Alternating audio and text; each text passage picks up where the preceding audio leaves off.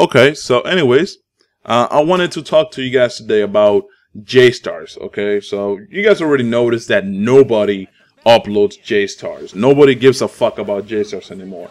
I'm going to actually get back on J-Stars this weekend and record and uh, provide you guys with more videos, okay? Because I love J-Stars. Regardless of what you guys may think, I love J-Stars. It's just that when I don't have anybody to play it with, I just say fuck it.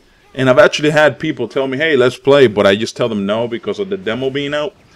But uh, the demo's going to end on SBOT soon. I might hop back on PS3 and play the demo over there, even though I really don't like it on PS3 all that much, to be honest. But that's neither here nor there.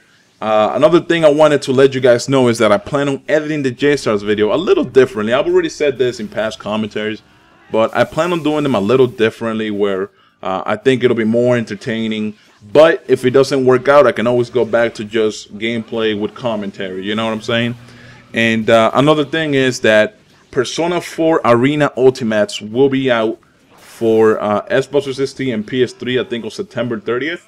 So that game is going to be one of the games I'm going to be uploading on this channel alongside Naruto Revolution. And, you know, for the Naruto fans, don't worry about it. Naruto's still to be the man, like the, the, the main thing here, the bread and butter of the channel. I'm just to upload things on the side. You know what? If you have to think about it in some other way, think about it like Con Maestro. Maestro does Naruto, but he uploads other stuff, you know? Like, kind of like that. And I want to really, really have my channel with that type of aspect to it, you know, where like I can actually enjoy other fighting games and not only enjoy them, but I can upload them and a lot of other people that are subscribers of mine, they can enjoy the content that I provide. That's my goal here, okay? So I plan to do that with not only Persona 4, but with dvc I plan on doing that with Fighting Climax. I'm planning on doing that with um Guilty Gear. And hopefully, you know, everything goes well.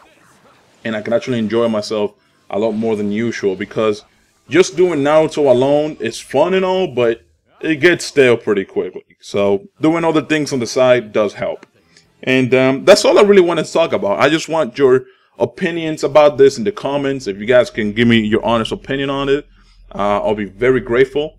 So, um, yeah, guys, until next time, peace out.